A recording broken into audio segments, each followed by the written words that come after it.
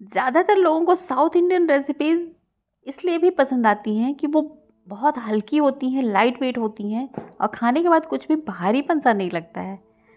तो ऐसे ही south Indian recipe में एक रेसिपी है कर्ड राइस जो कि बहुत ज़्यादा हल्का होता है टेस्टी तो बहुत ही ज़्यादा होता है इसे बनाना इतना आसान होता है, इसे अगर आपके पास लेफ़्ट ओवर राइस है, बचा हुआ चावल है रात का तो आप इसे पाँच से सात मिनट में तैयार कर सकते हैं। तो आइए आज वही हम कर्ड राइस लेके आए हैं, पर मेरे पास लेफ़्ट ओवर राइस नहीं थी, मैंने फ्रेश राइस बना के इसे बनाया। तो आइए देखते हैं उस रेसिपी को कैसे बनाना है, पर चैनल पर नए हैं तो आपसे रिक्वेस्ट है कि चैनल को सब्सक्राइब कर लें वीडियो को लाइक शेयर करना ना भूलें। तो आइए देखते हैं तो मैंने यहाँ पे ये एक कटोरी चावल को भिगो लिया था, आधे घंटे पहले धुल के इस तरह से भिगो लिया था। ये बासमती चावल है, आपके पास जो भी चावल खाते हैं, आप उससे बनाएँ। वैसे एक छोटे छोटे दाने का आता है साउथ में चावल, उससे बनाया जाता है। नाम मुझे नहीं याद है अभी। और उसे मैंने तीन से चार गुना पानी के साथ इस तरह से बन, इसको कुक कर लिया था। ये बिल्कुल पानी हमें इसका छान के निकाल देना है, इसलिए मैंने काफ़ी सारे पानी के साथ इसे बॉईल किया है। आप कैसे भी, जैसे भी आप चावल बनाते हैं, उस तरह से बनाएँ। और चावल को मैंने रूम टेम्परेचर पे कर लिया है। ना तो गर्म होना चाहिए और ना ही बहुत ठंडा होना चाहिए इसमें। दही भी रूम टेम्परेचर की ही है फ्रेश घर की जमी हुई दही है गाढ़ी गाढ़ी सी रूम टेम्परेचर पे रखी हुई।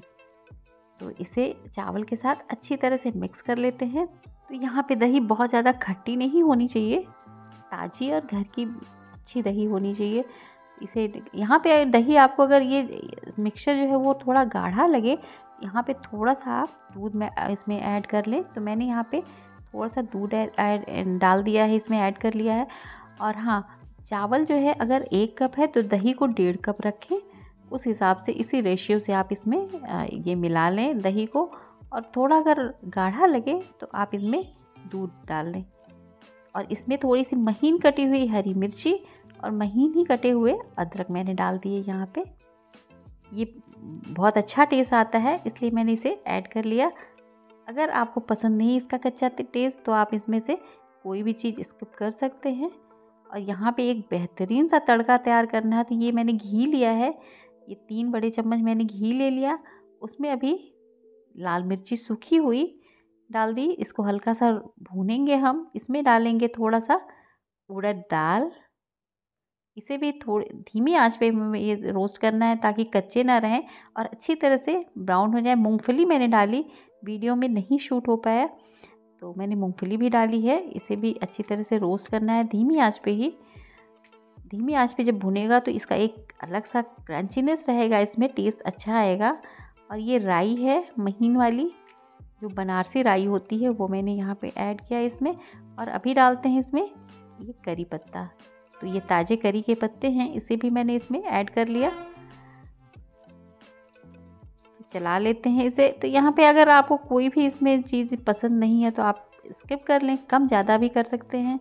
वैसे ये बिल्कुल बहुत अच्छा प्रोपोर्शन है, बहुत अच्छा टेस्ट आएगा, इतना हम, मैंने जो इसमें डाला है तो ये तैयार है। और अभी इसको हमें थोड़ा सा ठंडा करना है, बिल्कुल गर्म गर्म ऐड नहीं करना उसमें।